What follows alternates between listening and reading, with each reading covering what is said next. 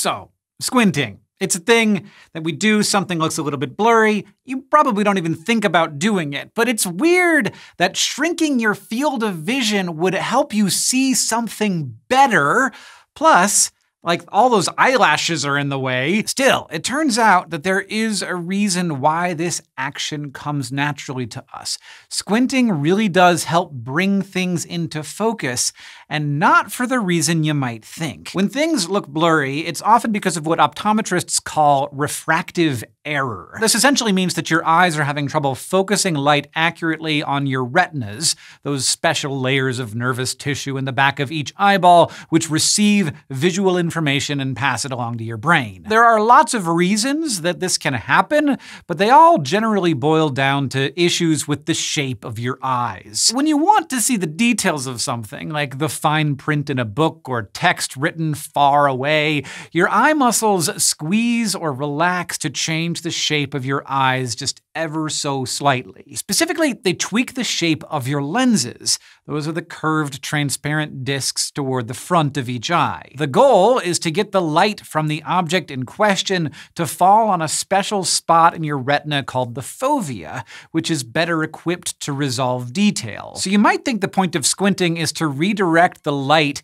that's coming into your eye by strong arming your lenses into the shape you need. And it does do that, but that's probably not why it helps you make out today's special on the chalkboard across the room. Instead, the important thing squinting does is limit the light that reaches your pupil. This helps reduce glare, but it also ensures that the light rays that enter your eye do so more directly through the center of the lens, so that they're basically already headed right for that special spot. You can actually get the same effect without moving your eye muscles at all by looking at the world through a tiny hole It's like this. Actually works. I'm gonna take my glasses off. Can I read the teleprompter?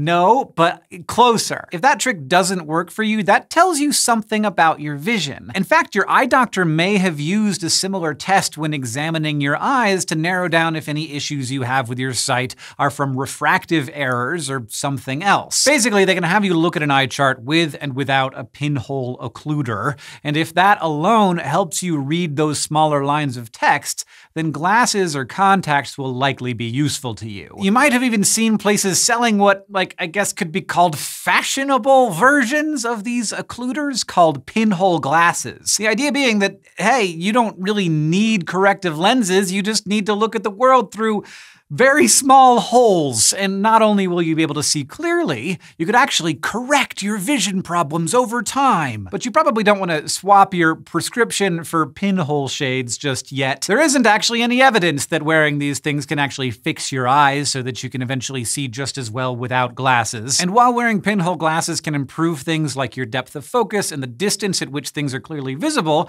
other aspects of your vision get worse. You know, things like your perception of depth and contrast and your peripheral vision, all things that are like useful. And people in studies have reported noticeable discomfort after undergoing tests with different pinhole glasses. So while it's pretty amazing that just looking at the world through small holes can make such a big difference, it's not really something you want to do all the time. Which is why we don't, you know, like squint all day, all the time either.